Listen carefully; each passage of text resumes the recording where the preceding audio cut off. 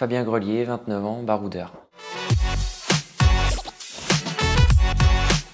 Euh, bah, la liberté, pouvoir rouler euh, bah, un coup dans la montagne, un coup euh, en bord de mer. Et puis j'ai la chance d'être dans un département qui aime beaucoup le vélo, donc ça m'a permis d'accéder à ce niveau-là. C'est des courses comme Liège-Bastogne-Liège, des efforts d'une dizaine de minutes, où il fait généralement pas trop chaud, pas trop froid. Et donc voilà, ça me correspond bien. Euh, mes objectifs sont d'aider au plus possible l'équipe et pourquoi pas gagner une belle victoire chez les pros.